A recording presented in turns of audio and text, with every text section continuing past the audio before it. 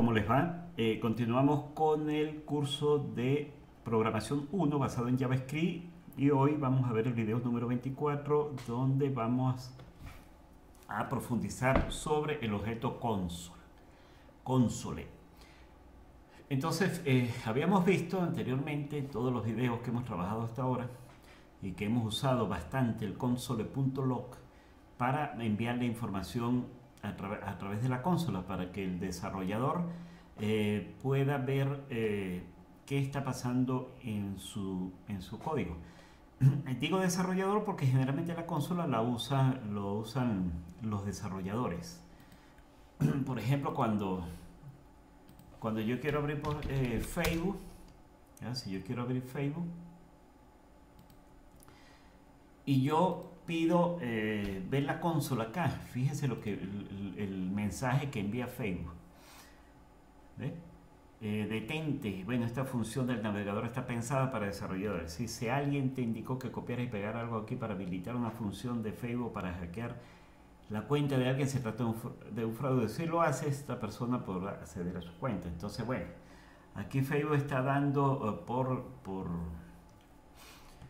eh, de que los desarrolladores somos los que utilizamos la consola acá. Entonces, bueno, esta advertencia aquí.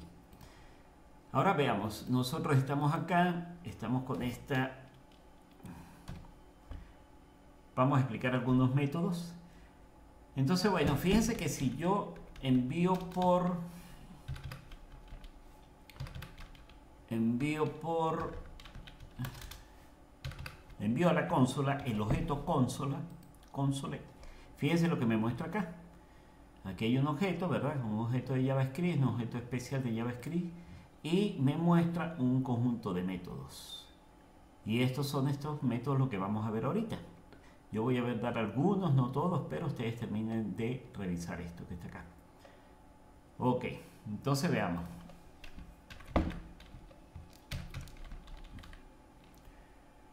Eh,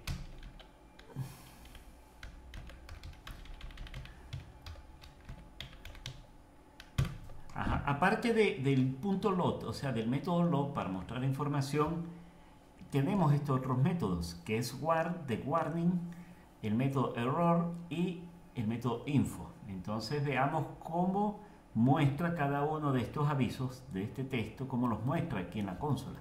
Si salvamos acá, fíjense que el primero lo muestra eh, con un icono especial, el segundo con un icono especial y un color mm, especial también. El, para dar warning o para dar avisos en programación, pues se utiliza el color amarillo. Y para em, eh, indicar que es un error, se utiliza el color rojo. Y este info, pues se utiliza para mostrar información acá. Bueno, es muy parecido a punto .log. Entonces ya tenemos estos tres métodos para indicar cuando mi, programa, eh, según mi lógica de programación, ocurre un error o debo dar un aviso.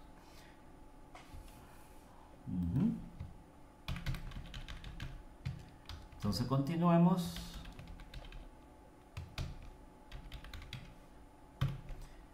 Ok, fíjense, cuando yo muestro un arreglo, cuando, cuando yo estoy, eh, o sea, declaro un arreglo y quiero mostrar ese arreglo en, en, en la consola. Y de esta manera era que lo habíamos venido haciendo. O sea, 1, 2, 3, 4, 5, el contenido y cada uno el índice y el contenido de cada posición. Pero la, el console me da otra forma de hacerlo, que es a través de la función table o tabla. Fíjense cómo lo muestra cuando yo lo mando a través de esta función, o sea, de ese método table. Entonces lo muestra en forma de una tabla. Entonces, bueno, es más más agradable verlo de esta forma, el índice del valor, que verlo de esta forma. Entonces, bueno, esas son cuestiones que, nos permite eh, hacer el, el, objeto especial consola. Fíjense que en este caso, como son eh, caracteres, pues me muestra cada uno de sus valores y la posición de cada uno. Ok, veamos otras, otras características. Por aquí, por aquí, por aquí. Hasta aquí. Entonces veamos, yo puedo eh, tomar un, conjunto de variables. C, eh, nombre, apellido, edad, y utilizar una un, un, log por, para cada uno de ellos para mostrar la información. Y aquí están. Aquí muestro a María, aquí muestro a 10 y aquí muestro la edad. Pero yo pudiera hacerlo también de esta forma. O sea, utilizo la consola, pero eh, coloco cada variable separada por coma y lo muestro en la consola. Y de esta forma me lo va a mostrar cada, el contenido de cada de esas variables acá. Otra forma de hacerlo es interpolando. Esto ya lo habíamos visto, ¿verdad? Entonces, soy, colocamos el nombre, el apellido y la edad. Bueno, esta sintaxis ya la debemos, debemos tener clara. Y soy María, tengo 25 años, aquí está. Otra forma es utilizar eh, eh, comodines. Entonces, eh, por ejemplo, si yo quiero imprimir un string, coloco el porcentaje S. Si quiero imprimir un, un entero, coloco porcentaje B. Y si quiero imprimir un flotante, coloco porcentaje F en, caso tal. Y fíjense, cada comodín va tomando un valor. En este caso, el primer comodín toma el el valor que contiene la variable, la primera variable. Esto debe estar ordenado, o sea, el primero con el primero, el segundo con el segundo y el tercero con el tercero. Y de esta forma, pues, el nombre, como toma el valor de María, coloca el valor acá, en el primer comodín y así sucesivamente. Y por eso es que me aparece lo mismo que lo anterior. ¿Ok?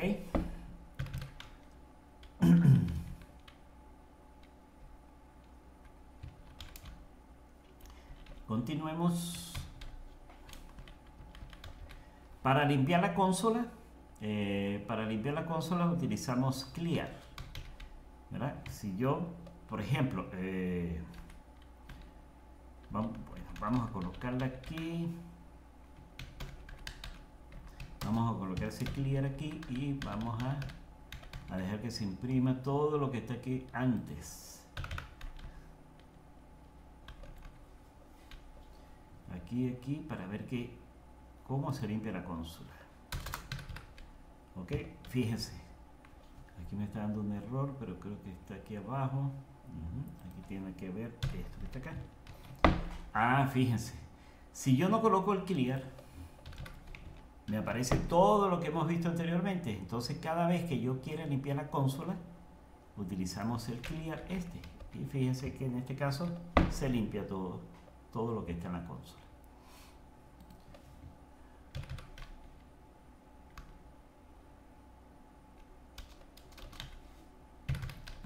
Ok, continuamos.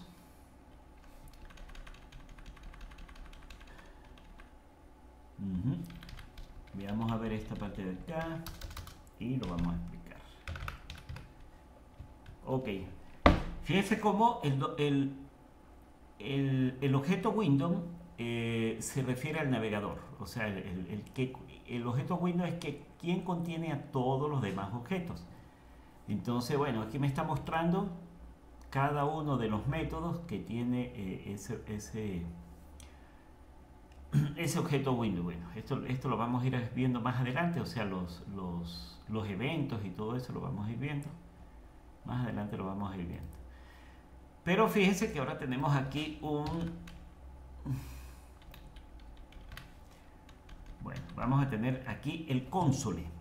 Eh, perdón, el console.log, pero document. Document se refiere al documento el que yo estoy eh, trabajando. Y fíjense que aquí lo está mostrando, document. Y fíjense que aquí está todo el HTML, o sea, todo el HTML que, eh, que permite generar esta página web. Entonces fíjense que aquí tenemos el HTML, aquí tenemos el head, ¿verdad? la cabecera y aquí tenemos el cuerpo. Fíjense que el, cuerpo solamente tiene objeto console, que tiene una, clase integrada allí, y el código JavaScript. Si nosotros revisamos eso acá, pues sería esto que yo tengo acá. ¿Mm? Ok. Entonces de esta manera yo puedo ver los elementos que tiene mi página, mi página web. Entonces volvamos aquí a la consola, aquí subamos esto acá. Ahora fíjense, ahora con dir me permite verlos pero de otra manera. El dir de Windows, aquí está, el dir, porque aquí tenemos esta, esta división, el dir de Windows. Y fíjense que lo muestra, pero lo muestra igual. Pero veamos a ver cómo muestra el documento. Ah, fíjense que ahora lo muestra diferente. Entonces, aquí cuando yo muestro el documento, yo puedo ver ciertas cosas. Por ejemplo, mm, yo quiero ver cuántos formularios tengo. Ah, no tengo ningún formulario dentro de mi eh, página web. ¿Por qué? Porque aquí dice que la longitud es cero, etcétera, etcétera, y no está registrado ningún formulario. Eh, por ejemplo, eh, yo quiero ver cuántos, o sea, si tengo algunos eventos, por ejemplo, el evento onClick, que debe estar por aquí, onClick, que me permite dar clic sobre un objeto y, y después generar o ejecutar algún código. fíjense que el, objeto onClick no está, no, está, eh, no está codificado, no está programado. ¿Por qué? Porque está aquí, está como nulo. Y así yo puedo ver ciertas cosas. Bueno, espero que esto les sirva más adelante. Si ustedes quieren ver, bueno, eh, cuántos, cuántos formularios tiene mi, documento, cuántos links, cuántos, eh, inputs, o sea, cuántos inputs que son los que me permiten ingresar datos. Eso cuando veamos el, el, DOM, pues e, esto va a estar un poco más claro. Y bueno, así tenemos algunas otras cosas. Por ejemplo,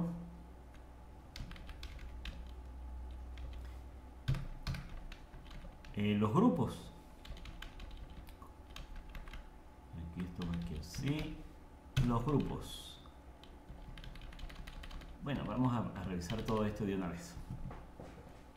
El punto .grow, ¿verdad? Console.group eh, permite crear un grupo. Y fíjense que estoy creando aquí un grupo de materias. Matemática, física y química. Y aquí es que inicia el grupo. Y para indicarle que finaliza el grupo, lo indico con grow en. Fíjense, vamos a, guardar esto. Aquí va un error, siempre esto se me viene para acá así. Control S otra vez otro error. ¿Dónde está? ¿Dónde está? Se esperaba fin de entrada. Por aquí tenemos, por aquí tenemos. ¿Dónde está? Aquí está el, por aquí me quedó un asterisco. Control S, ok. Fallo, ok. Ya vamos a explicar esto. Pero vamos a quitar ese error. Voy a colocarle ese error.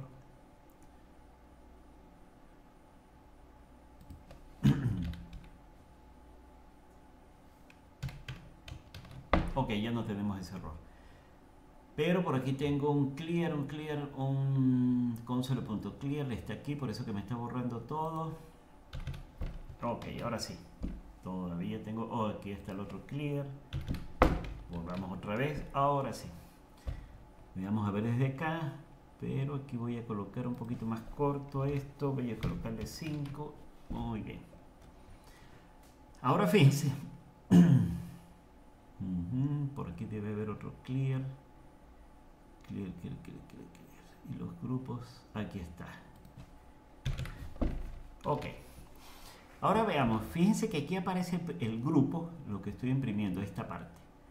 Estoy imprimiendo materias y, y fíjense que crea un grupo, fíjense que le está dando aquí como una sangría y yo puedo colapsar esto o eh, desplegar. Esto es de repente que ustedes quieran generar información y que la información tenga varios ítems, por, ejemplo, o quiera mostrar varios errores que, que, se da en una función, entonces lo muestran formando un grupo para que haga referencia a una sola cosa. Y fíjense que aquí lo tengo colapsado. Voy a volver a ejecutar esto. Fíjense que cuando es solamente grow, aparece de esta forma, aparece desplegado. Y cuando es colapse, pues él lo que lo hace es eh, colapsarlo, o sea, recogerlo. Y fíjense que yo puedo desplegarlo o colapsarlo. Entonces la diferencia entre estos dos es que esto lo muestra desplegado y este no, no los muestra de esa forma. Ahora veamos. Hay un, hay un otra, otro, otro método que se llama time y aquí, aquí está otro método que se llama time Esto lo que hace es medir el tiempo que se tarda ejecutar, ejecutar un bloque. Entonces lo que hacemos es, donde comienza el bloque que yo quiero medir el tiempo de ejecución, coloco esto, console time. y aquí adentro una etiqueta, aquí adentro. Y luego colocamos eh, el bloque que se va a ejecutar y acá vamos a colocar el time en. Y es muy importante que esta etiqueta sea la misma, o si no, no funciona. Y fíjense que aquí me está dando eh, el tiempo que se ejecuta es, eh, eh, este bloque que está acá, el for este. Fíjense que yo este, estoy creando un arreglo de un millón de posiciones. Aquí hay un millón. Luego, en el arreglo, en el for, ejecuto desde igual a cero hasta un millón, porque es hasta la longitud de ese array y lo que estoy haciendo es agregándole i a cada una de esas posiciones. ¿Por qué? Porque esto lo crea de, un millón de posiciones, pero esto está vacío, ¿no? Está vacío, no tiene ningún valor. Y aquí lo que hace es rellenar cada valor con la posición de i, o sea, con 0, 1, 2, 3 hasta un millón. Entonces, este for debe ejecutarse un millón de veces. Y lo que está haciendo time y time en es medir el tiempo que está desde aquí hasta aquí. Eso es todo. Y fíjense que el tiempo es 3.65 milisegundos aquí. Tardó en ejecutarse esto. Ok. Ahora el con este, el con, lo que hace es contar cuántas veces se está ejecutando un ciclo o un bucle. Entonces aquí lo que hacemos es eh, imprimo por pantalla, mando a la consola el valor de K, que es 0, porque acá comienza en 0, después 1, 2, 3, 4, 5. Y el home va contando el ciclo. Ciclo 1, ciclo 2, ciclo 3, ciclo 4, 5, 5. Entonces esto, esto, es, debe ser es muy útil. ¿Por qué? Porque de repente yo quiero ver cuántas veces se está ejecutando un while y resulta que no es lo que yo esperaba. De repente la condición que yo estoy colocando acá eh, no es la adecuada para que el número de ciclos que debe ejecutarse sea el, esperado. Entonces, bueno, podemos ir contando eso con, con, con esto que está aquí con, Y lo, por último, este, a veces eh, nosotros queremos eh, hacer pruebas al código. Hay eh, librerías especializadas en JavaScript para uno hacer pruebas, pruebas al código. Este, se pueden hacer pruebas unitarias, o sea, probar cada uno de los métodos o cada una de las funciones para ver si lo que está arrojando es lo esperado. Pero bueno, aquí tenemos eh, algo que se llama mm, hacer, que esto significa afirmación o aserción. Entonces lo que hacemos, ¿cómo utilizamos esto? Bueno, de la siguiente forma. Eh, esta variable yo le asigno a sueldo 200, ¿verdad? Y al límite inferior 180. O sea que para mí va a ejecutar un error cuando el sueldo sea inferior al límite inferior. Por ejemplo, si el sueldo es 100, debe dar un error. Si el sueldo es 200 y el sueldo es mayor que el límite inferior, no debería dar el error. Entonces yo tengo aquí tres variables, fíjense. la variable sueldo, la variable límite inferior y el mensaje de error que yo quiero que se le dé a la persona. Entonces veamos, ¿Cómo, ¿Cómo verificamos esto? Bueno, vamos a suponer que anteriormente para calcular sueldo había que hacer un, poco de cálculos allí, de las primas, del, número de hijos, de las horas trabajadas y todo eso. Y lo cierto es que el sueldo tiene que ser mayor a 180. Y quiero verificar eso. Entonces eso lo hacemos con este método hacer o aserción, de, de afirmación. Entonces, ¿qué es lo primero que colocamos? Bueno, lo primero que colocamos es la condición. Ah, bueno, en este caso la lógica de mi programa dice que debe cumplirse esta condición, que el sueldo sea mayor o igual al límite inferior. Luego pasamos las variables en cuestión, sueldo, límite inferior, y la tercero, el tercer parámetro que pasamos es el mensaje que yo quiero que se le dé. Fíjense que cuando yo guardo acá, cuando yo salvo, le doy control S y aquí no está pasando nada. No me indica nada. ¿Por qué? Porque no se está generando ningún error. O sea, esto, esto se está cumpliendo. Pero vamos a suponer que el sueldo sea 20. Yo le doy control S. Ah, fíjense que ahora sí me muestra algo. fallo en la aserción. Los variables de, sueldo es 20, eh, la variable sueldo es 20, la variable límite inferior es 180 y este es el error que el mensaje que le quiero pasar. Entonces, bueno, esto es, es sencillo, simple, pero me permite ir haciendo cierta depuración a mi código. Hasta luego.